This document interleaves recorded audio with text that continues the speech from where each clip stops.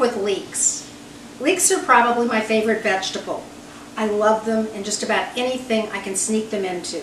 But remember, they always must be cooked before, otherwise they don't have a very good flavor. So here's the way to work with the leek.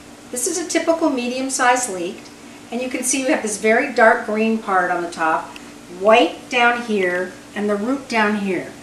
Never cut the root off, otherwise you won't be able to hold it together.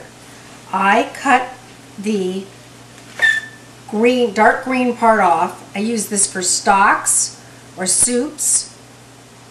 And then I clean my leek. And the way that I do it is first I go down like this, then I do a half a turn, a quarter of a turn,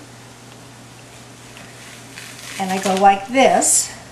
I walk over to my sink and I clean out any excess dirt.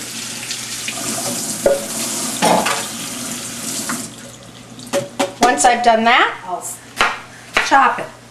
And remember, you use the knife with some rocking motion and always make sure your fingers are out of the way and the only thing that that knife can touch are your knuckles.